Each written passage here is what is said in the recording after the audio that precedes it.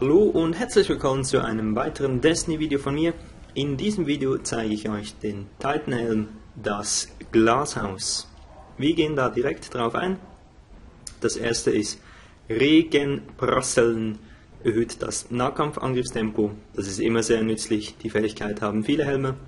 Dann hätten wir Kerntransfer, stellt Superenergie wieder her, sobald ein Gegner mit einer Granate ausgeschaltet wird ist für den Titan auch sehr nützlich.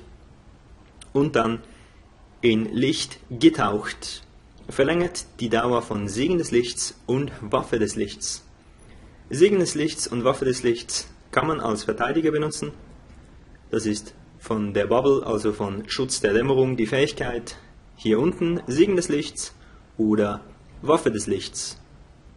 Jetzt kann man das Ganze natürlich noch verstärken mit Erleuchtet, erhöht die Vorteile durch Segen des Lichts und Waffe des Lichts. Waffe des Lichts, die meisten kennen das, verstärkt ja den Schaden, den man mit den Waffen macht und Segen des Lichts gibt einen Bonus auf den Schild. Mit diesem Helm währt die Fähigkeit länger.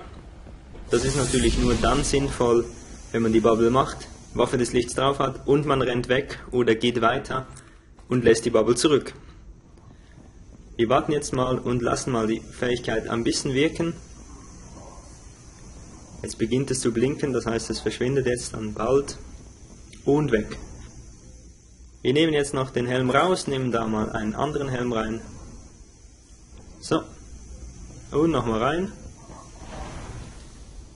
Und jetzt sollte es viel weniger lang da sein.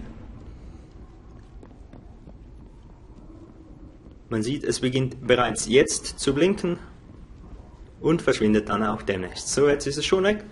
Man sieht also, die Fähigkeit vom Glashaus dauert durchaus eine bestimmte Zeit, ist dann sinnvoll, wenn man beispielsweise sich bei Krota im Raid aufhält, das heißt, wenn man da den Schild macht und man weiß, ich kann nicht zurück zur Bubble und ich muss irgendwo hinrennen, brauche aber lange einen Schild, kann man das einsetzen.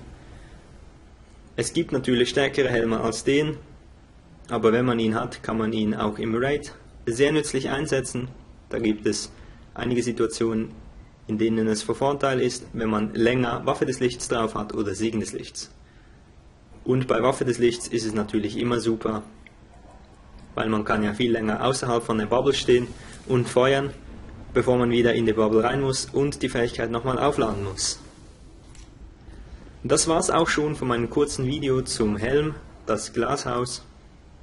Ich hoffe, das Video hat euch gefallen. Wenn ja, lasst doch ein Like da. Ich freue mich über Likes oder abonniert mich, wenn ihr mich noch nicht abonniert habt.